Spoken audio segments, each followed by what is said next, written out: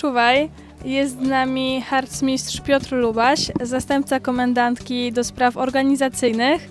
E, Piotrze, tegoroczna Watra, pomimo pięknych widoków, jakie widzimy, e, była w dość trudno dostępnym miejscu. E, Jakie wyzwania w związku z tym stanęły przed Tobą, e, przed Tobą i Twoim zespołem?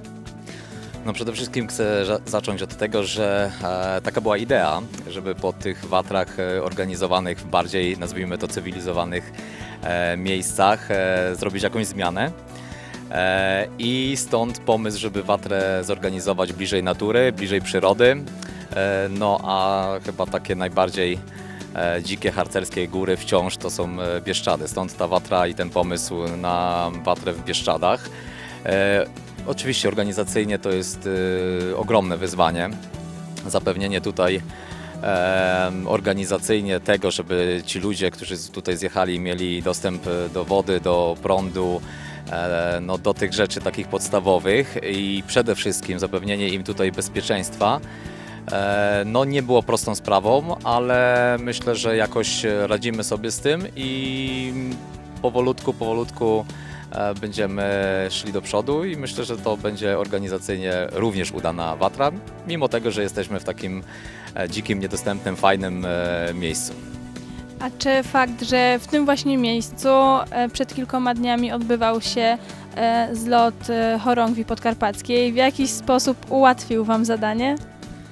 Znaczy tak, e, zlot chorągwi podkarpackiej e, my traktowaliśmy jako troszkę taki support, takie przetarcie przed e, naszym zlotem. Zlot chorągwi podkarpackiej był mniej liczny, natomiast sporo sprzętu mogliśmy sprawdzić, zwieść tutaj wcześniej na bazę przy pomocy organizatorów tamtego zlotu mogliśmy przetestować wiele rzeczy.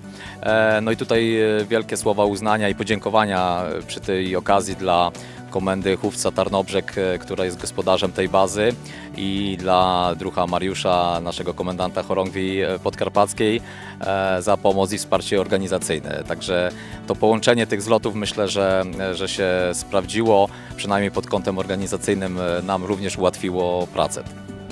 Domyślam się, że pomimo chęci e, nie byłbyś w stanie zrobić wszystkiego sam. Masz e, do tego ogromny zespół IST. Jak wygląda i jak przebiega współpraca z nimi? No, z, wiesz, z tym, e, czy jest on ogromny, to tak naprawdę to była moja największa obawa, e, dlatego że nasz zespół nie jest liczny w porównaniu do e, tego, jak liczna jest ilość uczestników na tej watrze.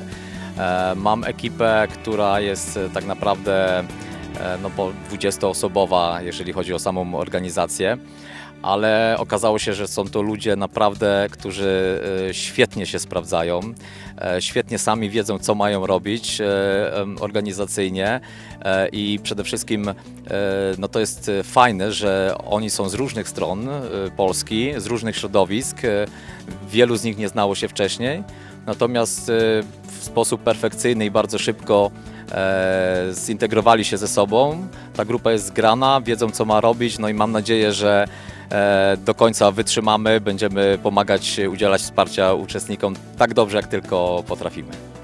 Też jestem tego pewna, także dziękuję Ci za tą rozmowę. Czuwaj. Czuwaj.